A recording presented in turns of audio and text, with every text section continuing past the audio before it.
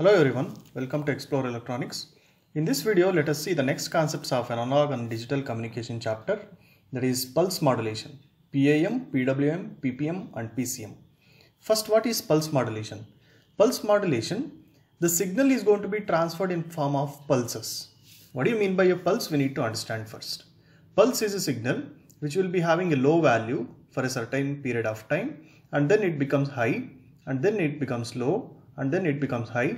For a certain amount of time, this pulse will be having 0 and then 1. Similarly, this cycle continues. This will be called as a pulse. So pulse will be a signal, it will be having a combination of 0 and 1 for a certain amount of time. This period will not going to be changed. Throughout the pulse, it will be having a constant duration.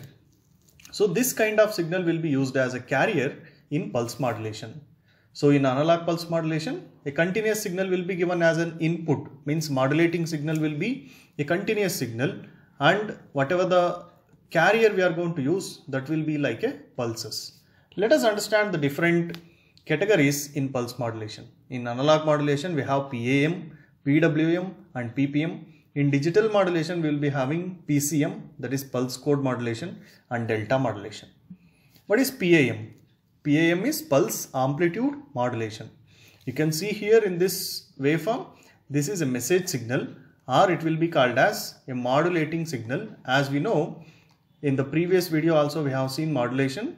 So this signal will be called as modulating signal. This will be called as carrier signal. Since it is a pulse here, carrier wave is a pulse kind of input we are going to give. That's why we are calling it as carrier pulse train.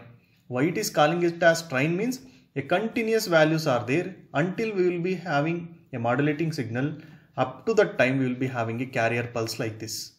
And let us understand how this PAM signal is generating. This is a modulated signal now. So after the modulation what we are going to get? It is a modulated signal. Before the modulation we will be having modulating signal. It is a simplest form of modulation technique we can say. In the pulse modulation it is a simplest form. So here the signals are going to be sampled at regular interval you can observe. This is what the signal. We are going to sample this at regular interval of time like this. At each and every pulses means at each and every regular intervals as per the carrier is concerned. We are going to plot with respect to the amplitude is concerned. So as amplitude increases in the modulating signal, here in the modulated signal, the pulse kind of output will be available. As amplitude increases here also pulse amplitude increases. And similarly pulse amplitude decreases. This will be called as pulse amplitude modulated signal. Here each sample you can consider this as a sample it is proportional to the amplitude you can observe. As the modulating signal amplitude is the modulated signal amplitude will be. This is the disadvantage of this PAM what is the disadvantage means the signals which are the pulses are with different amplitude. We can't make the amplitude as constant here. So let us, let us look at PWM now. In PWM, it is pulse width modulation. In the previous case, pulse amplitude modulation, we are going to vary with respect to the amplitude of the signal is concerned. Here also we are going to consider the amplitude of the modulating signal itself.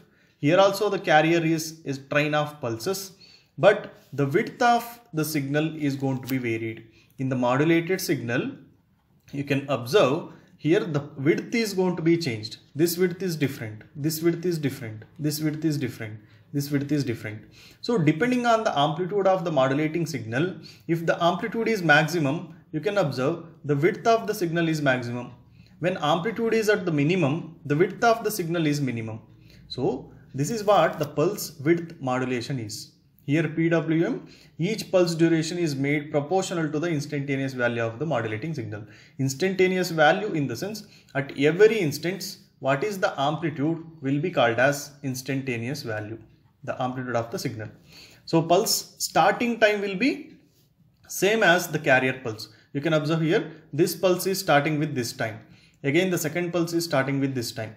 Third pulse is starting with this time as the carrier signal transition from 0 to 1 at the same time here the pulse is starting but the width is going to be varied according to the amplitude of the modulating signal. Here you can observe the modulated signal amplitude is constant. The constant amplitude we are going to get at the modulated signal but the width is going to be varied as long as this width of the output signal or the modulated signal is more if the width is more what we say here the power requirement is more. If we are going to transmit one signal continuously for a longer duration of time here the transmitter requires a high power device. Okay that is what the thing here we need to understand in pulse width modulation. And you can observe the next thing that is pulse position modulation. Here here it will be uh, Uh, looking same as PWM but there is a difference between PWM as well as PPM you can see. Here the amplitude is constant and it will be also like a pulse. But the thing is the width of the signal is constant here. The width of the modulated signal what we have is a constant value. But the duration between the each pulses means from here to here there will be a huge gap. This will be depending on the amplitude of the modulating signal here amplitude and width of the pulses are keeping constant and only the position of the pulses are going to be varied. This pulse will be at this position. The next pulse will be after some time. Means this time represents the maximum amplitude. That's why the name has given as pulse position modulation. Then we have PCM that is pulse code modulation. Here the thing is this PCM is a digital technique so the modulation will be occurred with respect to the pulses concerned, but the analog signal is going to be converted into a digital form.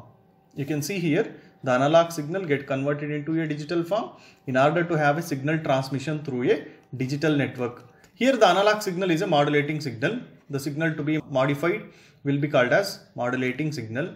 So this analog signal will be converted into digital form. It requires PCM encoder. The PCM encoder means pulse code modulation encoder is required. This device consisting of a sampler. It will be called as the process will be called as sampling and then quantizer. It will be called as quantizing and then encoder. The process will be called as encoding. The three devices within the PCM encoder are sampler, quantizer and encoder. What this sampler is going to do? It is making the samples out of this particular signal it is going to make the samples like this. What quantizing is going to do, it is going to make the assignment of values for each and every levels. This will be called as a quantizing levels. This will be called as a pulses or the samples. X-axis will be called as the samples and in the y-axis we can say these are the quantizing values. So output of the sampler you can see this is what the output. It will be uh, exactly same as the PAM signal. So PAM is the output of the sampling we can consider. So at the output of the quantizing you can observe these lines. So these are the different levels we are going to consider for assigning the values.